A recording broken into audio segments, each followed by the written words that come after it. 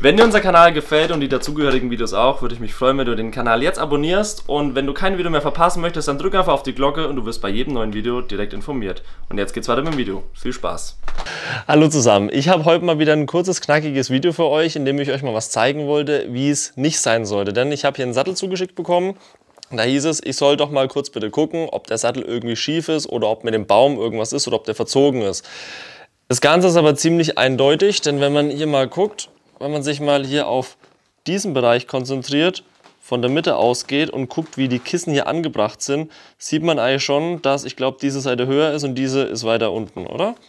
Ja, genau. Man sieht schon, dass das auch, wenn man hier von der Mitte ausgeht, dass das nicht symmetrisch verläuft. Also das hier, das ganze Teil ist einmal zur Seite gedreht. Wenn man jetzt weiter guckt, hier oben von der Mitte aus mal so, so, eine Linie nach vorne ziehen würde, sieht man eigentlich schon, dass der ganze vordere Teil vom Baum einmal so links zur Seite verdreht ist. So, woher kommt es jetzt? Woher kommt so eine komische Drehung im Sattel? Zum einen kann es sein, dass von Anfang an der Sattel schon ein bisschen ungleich zusammengebaut wurde, gerade wenn ich hier, mir das mal angucke. Vorderzeugfalting hier, Vorderzeugfalting hier auf der Höhe, die Schraube sitzt etwas höher auf der Seite, ne? also im Vergleich Vorderzeugfaltring ist da angebracht. Hier sitzt das etwas höher. Da haben wir so circa 2 cm Versatz. Und auf der Seite hier sind es nur noch 1 cm vom Versatz her. Also vordere Schraube, Vorderzeugfaltring. Und hier so eine Linie rüberziehen wir das 1 cm. Also da haben wir da schon mal eine Schiefe drin. Und ich würde mal ganz klar behaupten, denn die Probleme waren soweit ich weiß nicht von Anfang an. Und dadurch, dass es auch hier so komplett verzogen ist, würde ich sagen, das ist ganz klar ein Fehler davon, dass der Sattel mal falsch in die Maschine eingespannt wurde. Heißt, da ist einer hingegangen, der von seinem Handwerk nicht so wirklich viel Ahnung hat, stelle ich jetzt einfach mal so einen Raum, hat den Sattel eingespannt, hat dabei nicht wirklich aufgepasst, hat den Sattel gebogen, enger oder weiter, lässt sich jetzt drüber mutmaßen, das weiß ich nicht, aber man sieht halt wirklich ganz klar davon, dass der Sattel einmal komplett verbogen ist und verzogen ist.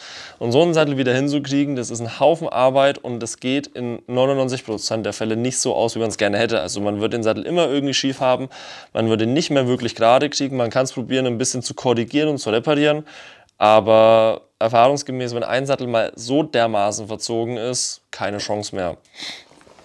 Wie gesagt, es lässt sich darüber mutmaßen, ob der von Anfang an schon immer so gerade war äh, ob der von Anfang an mal gerade war, aber ich würde sagen, ganz klar der Fall davon, Sattel schief eingespannt oder Sattel hat sich in der Maschine verdreht und dann hat man halt so ein Ergebnis daraus. Ziemlich ärgerlich, vor allem für die Kunden. Sie kann es jetzt nur wirklich probieren bei dem anderen Anpasser, ich nenne es einfach mal wieder Anpasser oder wie auch immer, zu reklamieren. Ich werde einfach eine kurze Stellungnahme zu schreiben, weil Gutachten kann ich keins schreiben, weil ich kein Gutachter bin. Aber es ist halt sehr, sehr ärgerlich. Und das ist halt wirklich was, was auf den ersten Blick ersichtlich ist. Und dieser andere oder diese andere Person, ich weiß nicht, ob Mann oder Frau, hat gesagt, es ist nichts verzogen, es ist alles gerade. Also es ist ziemlich ärgerlich und ja, deswegen ist wirklich nur wieder so ein super schönes Negativbeispiel und das wollte ich euch einfach mal zeigen, weil es ist schon manchmal echt spannend, was da draußen so abgeht. Ja, wie gesagt, kurzes, knackiges Video. Länger wird es heute nicht. Deswegen, das war es schon von meiner Seite aus. Und ich würde sagen, wir sehen uns im Laufe der Woche wieder. Bis dahin. Ciao.